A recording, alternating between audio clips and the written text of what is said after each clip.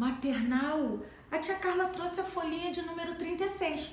Quem são essas figuras aqui? Muito bem, o círculo, o quadrado e o triângulo. Parabéns, maternal. E eu trouxe, olha, um círculo verde, um quadrado azul e um triângulo vermelho. E nessa folhinha aqui, o que, vamos fazer? Vamos colar as figuras de acordo com a sequência. A tia Carla colocou lá dentro do kit de vocês as figuras. Colocou círculos, colocou triângulos e colocou quadradinhos. Então vamos colar? Deixa a tia Carla pegar.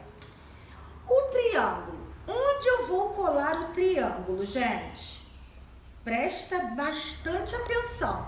Vou colar aqui? Não, tia Carla. Vou colar o triângulo embaixo do triângulo. E o círculo? Embaixo do círculo. E o quadrado? Embaixo do quadrado. Quadrado, triângulo e círculo. Gente, que lindo! Olha o meu trabalho. Olha! Agora eu quero ver de vocês. Bem bonito, hein? Beijo.